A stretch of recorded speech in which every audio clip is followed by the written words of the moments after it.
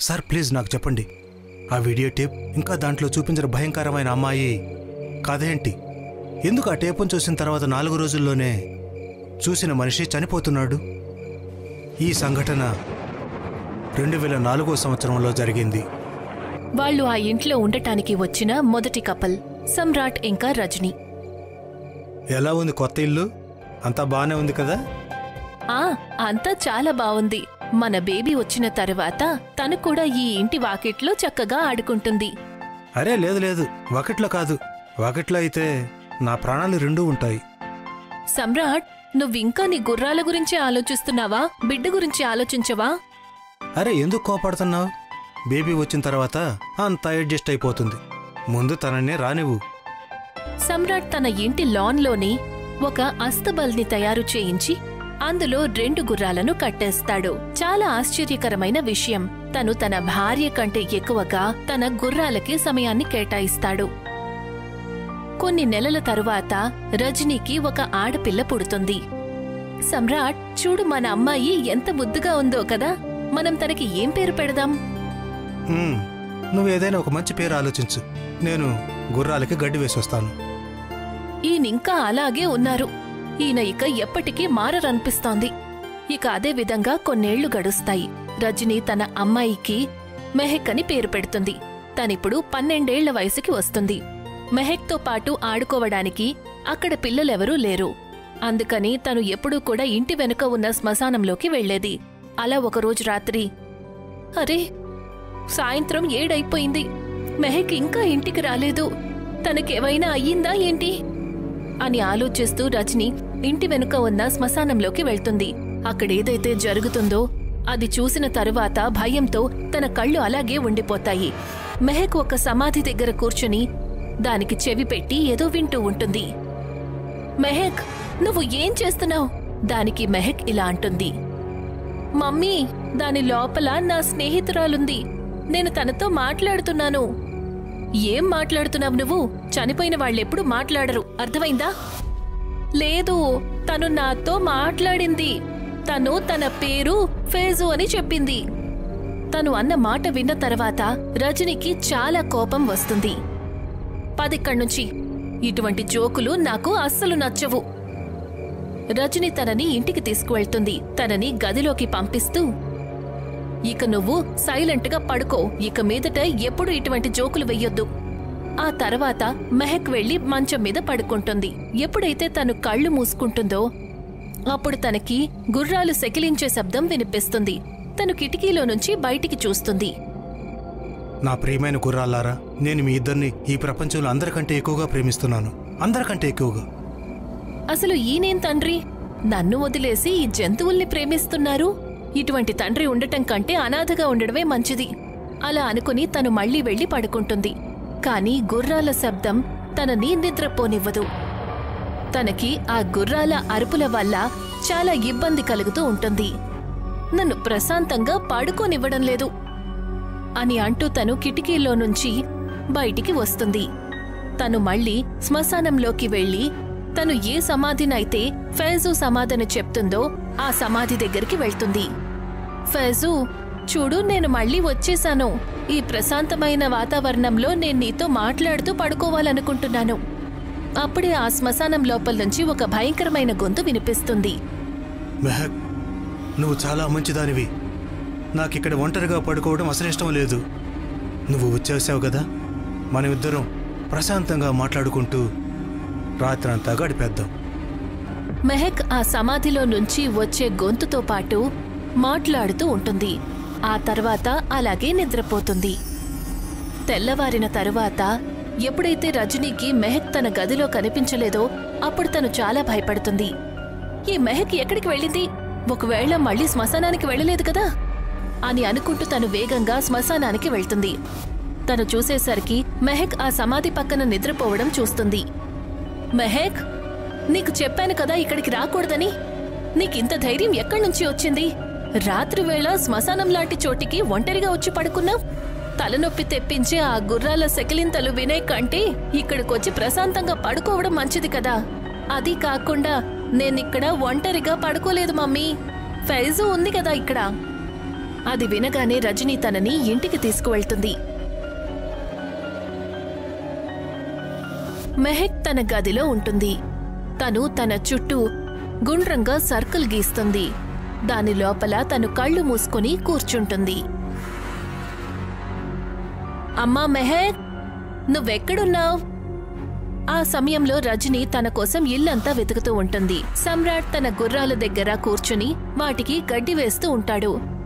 అమ్మా మెహక్ నువ్వు ఎక్కడున్నావు? జవాబు చెప్పు. అలా గట్టిగా అరుస్తూ రజని మెహక్ గదిలోకి వెళ్తుంది.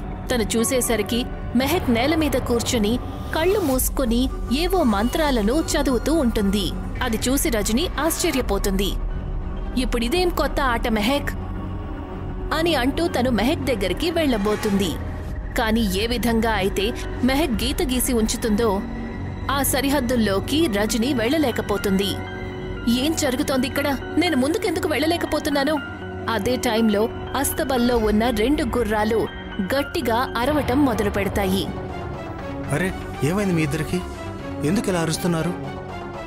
ఆ రెండు గుర్రాలు ఎలా అదుపు తప్పుతాయంటే వాటి తాళ్ళను తెంచుకొని అక్కడ్నుంచి పారిపోతాయి. అరే ఎక్కడికి వెళ్తున్నారు మీరిద్దరు? తిరిగి రండి. ఆ రెండు గుర్రాలు కూడా వెనక్కి తిరిగి సమ్రాట్ దగ్గరికి పరిగెత్తుకుంటూ వస్తాయి. ఓర్ నాయనో ఇవి చాలా వేగంగా పరిగెత్తుకుంటూ వస్తున్నాయి. సమ్రాట్ దగ్గరికి వచ్చి అతన్ని తొక్కేస్తూ ముందుకు వెళ్ళిపోతాయి. తన అరుపు విని రజని బయటికొస్తుంది.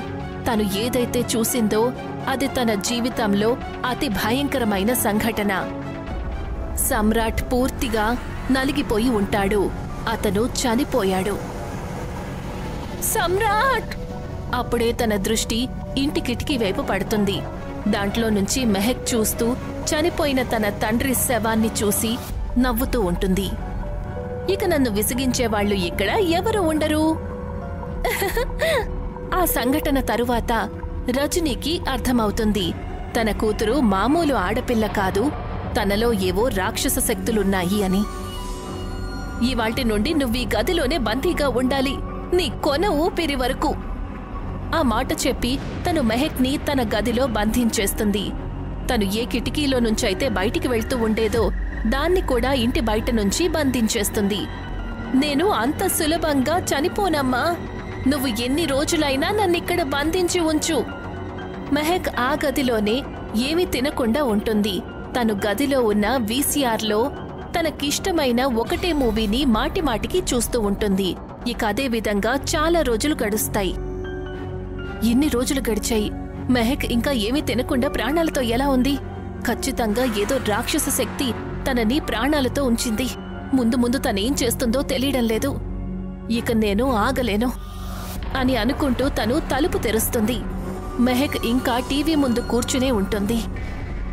అమ్మా మెహక్ పద నేను నీకు ఒకటి చూపించాలి. లేదు మమ్మీ నేను ఇక్కడే ఉంటాను. నాకీ మూవీ చూడాలనుంది. రజని చూసేసరికి మూవీ చాలా భయంకరంగా ఉంటుంది. తనని బలవంతంగా ఇంట్లో నుంచి బావి దగ్గరికి తీసుకువెళ్తుంది. మమ్మీ ఒకవేళ నువ్వు నన్ను చంపాలి అనుకుంటే గుర్తుపెట్టుకో. నువ్వు కూడా ప్రాణాలతో మిగిలవు. అది విని రజని తనని బావిలోకి తోసేస్తుంది. ఆ తర్వాత తను ఎంతగానో గట్టిగా ఏడుస్తుంది. అంతలో బావి లోపల నుంచి మెహక్ ఆత్మ బయటికి వస్తుంది. తను తన తల్లిని అంతం చేస్తుంది. ఆ తర్వాత తన ఆత్మ తన గదిలోకి చేరుకుంటుంది. ఆ తర్వాత వీడియో టేప్ లోపలికి వెళ్తుంది. తను చనిపోవడానికి ముందు ఆఖరిసారి చూసిన టేప్లోకి. ఈ కథ విన్న తర్వాత పునీత్ పరిస్థితి దారుణంగా మారుతుంది. అది తన ఒళ్ళంతా ఉణికించేస్తుంది ఆ గది లోపల నాలుగు రోజుల వరకు ఆగకుండా అదే వీడియోను చూస్తూ ఉంది. అందుకని తను ఆ వీడియో టేప్కి కనెక్ట్ అయ్యింది. దాన్ని చూసిన ప్రతి వ్యక్తిని నాలుగు రోజుల్లోనే చంపేస్తుంది. అవును ఇక ఇప్పుడు నువ్వు కూడా చనిపోతావు. కానీ మీకు ఇదంతా తెలిసినప్పుడు మీరు ఆ టైప్ని ఎందుకు అంతం చేయలేదు? అది అంత సులభం ఉంటే నేను ఎప్పుడో చేసుండేవాణ్ణి. ఏమంటున్నారు మీరు? నువ్వే స్వయంగా ప్రయత్నించి చూడు. పునీత్ ఎదురుగా మండుతున్న చిమినీ మంటల్లో ఆ వీడియో టేప్ని విసిరేస్తాడు. కాని అప్పుడే మంటలు ఆరిపోతాయి. ఇది ఎలా సాధ్యమవుతుంది? పునీత్ ఆ టేప్ని తీసి నేల మీద గట్టిగా కొడతాడు. కానీ అది కొంచెం కూడా విరగదు. దీన్ని ఎవరూ అంతం చేయలేరు. ఈ టేపును చూసిన ప్రతి వ్యక్తిని చంపి తను మళ్ళీ అదే ఇంటికి చేరుకుంటుంది. అయితే మరి నన్ను నేను ఎలా కాపాడుకోవాలి? ఒకవేళ నువ్వు నాలుగు రోజులు కాకముందే ఈ టేపుని మరెవరికైనా చూపిస్తే తను నిన్ను వదిలేసి ఆ వ్యక్తిని చంపేస్తుంది. అది విని పునీత్ అక్కడి నుంచి బయలుదేరతాడు. కార్ డ్రైవ్ చేస్తూ తను ఆలోచిస్తూ ఉంటాడు. తన స్థానంలో ఎవర్ని బలిబకరా చెయ్యాలి అని. టీనా? ఆ, టీనా అయితేనే కరెక్ట్గా ఉంటుంది. నేను ఈ వీడియో టేప్ని తనకు చూపిస్తాను. ఆ మాటను మనసులో పెట్టుకొని తను మళ్ళీ పట్నానికి బయలుదేరి వెళ్తాడు. అక్కడికి వెళ్ళాక తిన్నగా టీనా ఇంటికి వెళ్తాడు. ఈ టేప్లో ఒక వీడియో ఉంది. దాన్ని ఒంటరిగా ఎవరూ కూడా చూడలేరు. అంటారు? ఎవరైతే దీన్ని ఒంటరిగా చూస్తారో వాళ్ళు సగం సినిమాలోనే లేచి పారిపోతారట. పిరికి పందలైతే పారిపోతారు. నేను దీన్ని పూర్తిగా చూస్తాను. అది కూడా భయపడకుండా. సరే అయితే ఐదు వేల రూపాయలకు షరతు. నేను వెళ్ళిన తర్వాత దీన్ని చూడు. ఒకవేళ నువ్వు ఈ మూవీని పూర్తిగా చూస్తే అప్పుడు నేను నీకు ఐదు వేల రూపాయలు ఇస్తాను. ఒకవేళ చూడలేకపోతే నువ్వు నాకు ఇవ్వాలి. నువ్వు రేపు ఉదయం డబ్బులు ఇవ్వడానికి రా. నేను చూస్తాను. సరే. అయితే నిన్ను నేను రేపు కలుస్తాను. పునీత్ టీనాకి ఆ వీడియో టేప్ ఇచ్చి వెళ్ళిపోతాడు.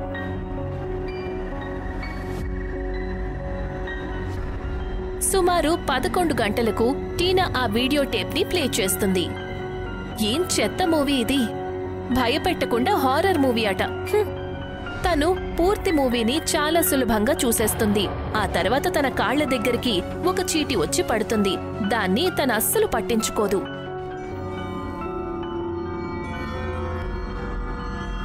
ఉదయం లేచిన తర్వాత తను ఫ్రెష్ అవ్వడానికి బాత్రూంకి వెళ్తుంది. బాత్ టబ్లో స్నానం చేస్తూ ఉంటుంది. Oh god! ఈ నీళ్ళివాళ ఎందుకింత చల్లగా ఉన్నాయి? అప్పుడే ఎవరో చేత్తో తన కాలు పట్టుకుంటారు. మెహక్ ఆ వీడియో టేప్లో ఉన్న భయంకరమైన రూపంలో టబ్ లోపల ఉంటుంది.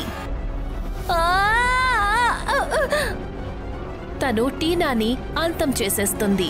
బాత్టబ్లో నీళ్ళన్నీ కూడా రక్తంతో ఎర్రగా మారిపోతాయి. ఆ తర్వాత మెహక్ మాయమైపోతుంది.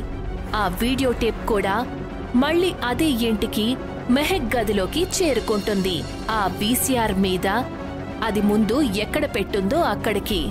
మీరు ఆ ఇంటికి వెళ్ళి ఒకసారి ఆ వీడియో టేప్ని చూసే ధైర్యం చెయ్యగలరా?